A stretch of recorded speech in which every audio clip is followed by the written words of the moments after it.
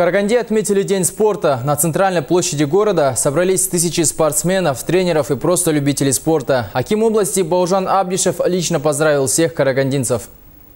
В начале празднования карагандинцы приняли участие в республиканской зарядке, которая прошла одновременно в разных городах страны. В прямом эфире с Днем спорта карагандинцев поздравил председатель Агентства Республики Казахстан по делам спорта и физической культуре Ерлан Кужагапанов. По сведениям организаторов, на площади независимости в этот момент собралось около 4000 человек, которые обменялись друг с другом рукопожатиями. В их числе известные спортсмены, победители международных соревнований, заслуженные деятели спорта, ветераны. Сегодня шахтеры и металлурги, люди всех профессий, будучи сторонниками здорового образа жизни, отмечают замечательный праздник День спорта нашей страны. От имени жителей области поздравляю всех казахстанцев с замечательным спортивным.